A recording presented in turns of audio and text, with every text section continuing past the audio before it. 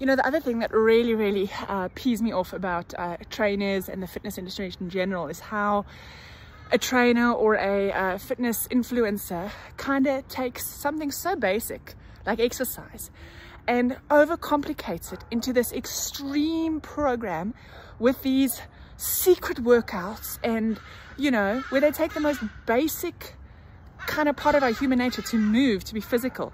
And they make us feel like, oh my word, we have to sign up for this program. We have to join this gym. We have to do these, these, in, you know, type of workouts in this kind of order. And I just want to tell you, I own a gym. I obviously want you to come train at Fit First, but you don't have to. Moving is something so natural. So if you want to start training, put your tackies on, go for a walk or a jog this evening, do 10 push-ups, and that's a win. It doesn't have to be this, sorry, car just came past. It doesn't have to be this, you know, this secret miracle workout follow these steps and you're it's moving you know how to move and even if your squats aren't perfect even if your push-ups aren't perfect what's what's great is that you're doing them and that's what counts. So please don't let the let coaches and trainers and fitness influencers make you feel like you don't know how to move because you do know how to move. It's the most basic thing that we do from from infancy onwards. So um, if you want to come train at fit first we'd love to have you.